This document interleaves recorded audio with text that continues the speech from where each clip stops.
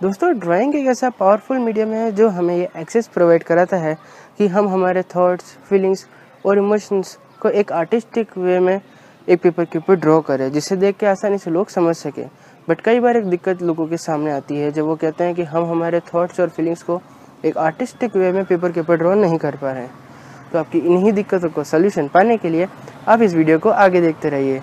नमस्कार दोस्तों, मेरा नाम है मयंक और मैं आपको स्वागत करता हूँ मयंक ड्राइंग क्लासेस में।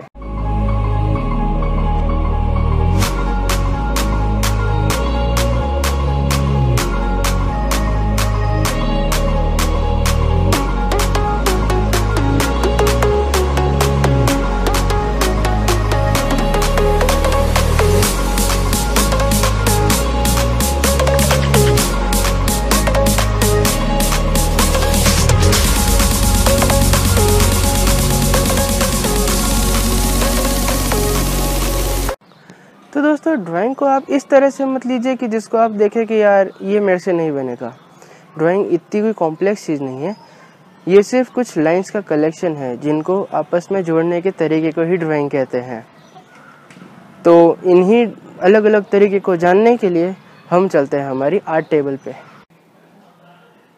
तो दोस्तों, जो बेसिक ड्राइंग मैं आपको बताने जा रहा हूँ, उसके लिए हमें चाहिए एक ड्राइंग शीट जो ये रही, और एक पेंसिल बट पेंसिल के लिए कई सारे लोग आपको एक पूरा पेंसिल सेट लेने को रिकमेंड करेंगे, जिनके अंदर अलग अलग शेड्स की पेंसिल होती है, ताकि आप अलग अलग तरह से शेड वेरिएशंस दे सकें।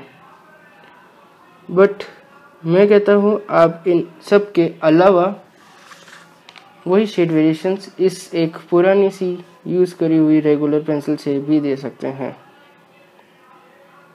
तो अब इस एक रेगुलर यूज़ करी हुई पेंसिल से शेड वेरिएशंस देने के लिए हमें इसकी होल्डिंग ट्रिक्स देखनी पड़ेगी। तो कई सारे लोग पेंसिल को इस तरह से पकड़ के लिखते हैं। इस तरह से पेंसिल से पकड़ के लिखने से एक दिक्कत सामने आती है कि आप बहुत ज़्यादा अनवांटेड प्रेशर अप्लाई करने लग जाते हैं। उससे आप शेड वेरिएशन नहीं दे सकते। आप जो भी करेंगे वो सिर्फ़ डार्क ही दिखेगा। तो इसका एक सोल्यूशन है कि हम पेंसिल को इस तरह से पकड़ें।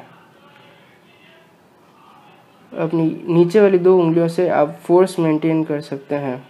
अपने हिसाब से एडजस्ट कर सकते हैं। और थम सपोर्ट के लिए। तो अब मैं आपको इससे एक वेव फॉर्म बना के दिखाता हूँ।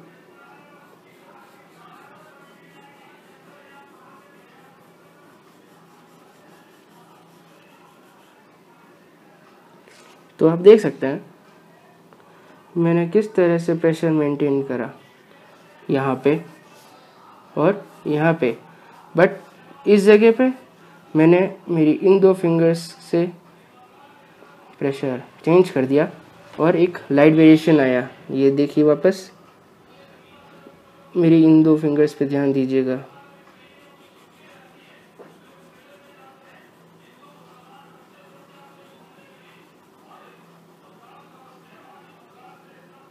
तो आप देखिए, किस तरह से यहाँ पे चेंज हो रहा है।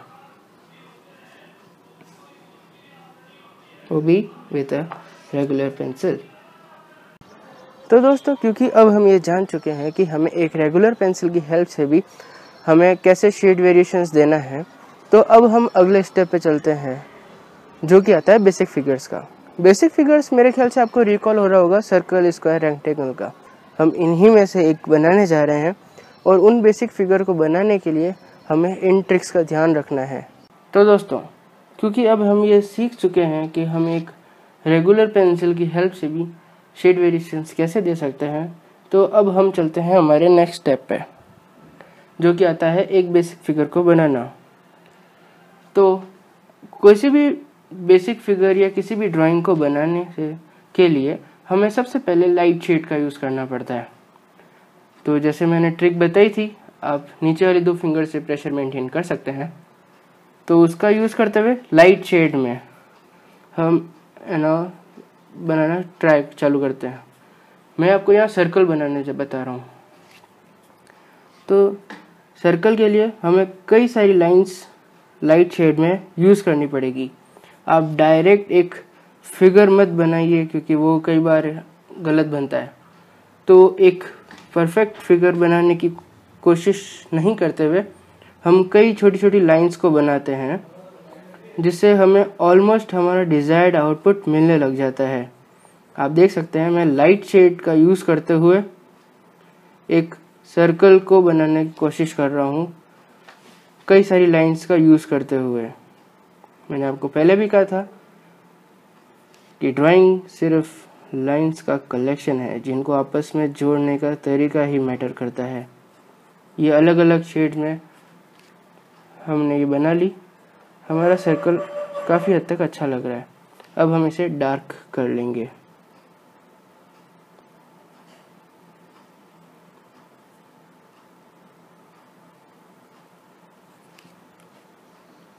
तो आप देख सकते हैं, हमने हमारा सर्कल यहाँ डार्क कर दिया है। तो अब जो अगली चीज़ हमें करनी है, वो है लाइट का डायरेक्शन देखना। सपोज़ कीजिए मैं मेरी लाइट यहाँ से एज्यूम कर रहा हूँ। तो लाइट यहाँ से आ रही है तो ऑब्वियस सी बात है, ये पोर्शन पे लाइट होगी तो ये चमकेगा और ये वाला डार्क साइड होगा, क्योंकि ये बॉल है और सर्कल है तो ये इस तरह से होगा। तो all you have to do is do shading in this section पहले पहले आप हल्के हाथ से प्रेशर के साथ नहीं। ये देखिए, हमने किस तरह यहाँ पे लाइट शेड से ये कराया। है तो अब हमें इसी को आगे बढ़ाना है। ये हमारा डार्क साइड आ चुका है। अब लाइट साइड में हम ऑब्वियसली ऑब्ज़र्व करते हैं। कि एक फिक्स पॉइंट पे लाइट को ज़्यादा ही रिफ्लेक्ट होती है। तो हम वो पोर्शन बना देते हैं। ये देखिए। ये हो गया। अब इसके बाद यहाँ पे थोड़ा डार्क पर साइड आएगा। हो गया। अब वापस डार्क साइड में आते हैं और नीचे की तरफ़ थोड़ा ज़्यादा डार्क करते हैं। ये देखिए। यहाँ पे काफ़ी डार्क हो चुका है। और यहाँ ऊपर हल्का हल्का लाइट है। इसके ऊपर और हल्का लाइट करते हैं।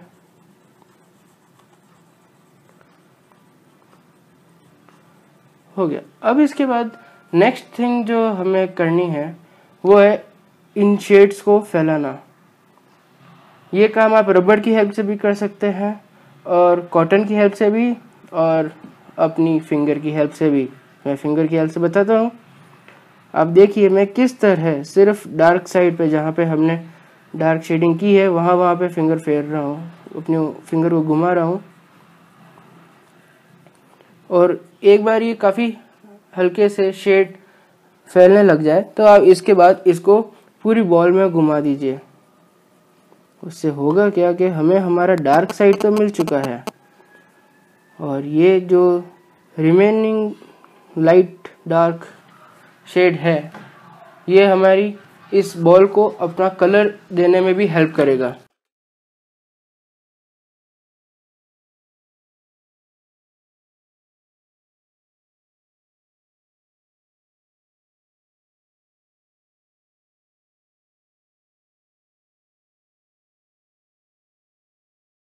अब लाइट यहाँ से आ रही है तो यहाँ पे हमें इसका सरफेस बनाना है। सरफेस पे भी बॉल की शेड्स आएगी।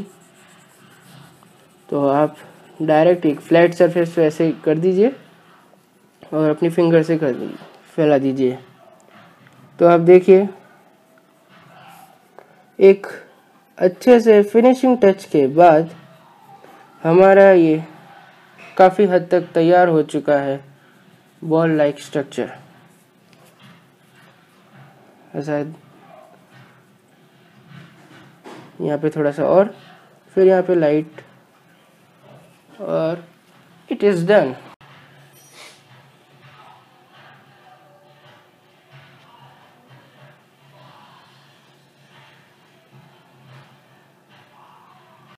तो दोस्तों, हमने हमारी इस वीडियो में क्या क्या सीखा, वो हम वापस रिकॉल करते हैं। सबसे पहली चीज़ जो हमने सीखी, वो ये है कि आपको अपने आर्ट वर्क में शेड वेरिएशंस देने के लिए कोई बहुत सारी पेंसिल्स का सेट खरीदना कंपलसरी नहीं है। आप एक रेगुलर पेंसिल की हेल्प से भी वो शेड वेरिएशंस दे सकते हैं। फिर उसके बाद हमने जाना कि हमें बेसिक फिगर्स कैसे बनाने हैं और उनके अंदर शेडिंग कैसे करी जाती है। तो हमारी आज की इस क्लास को यहीं ख़त्म करते हैं और अगर इस वीडियो ने कहीं ना कहीं आपकी हेल्प की है तो इसको लाइक करना मत भूलिएगा और सब्सक्राइब करना तो बिल्कुल भी नहीं। बस थैंक यू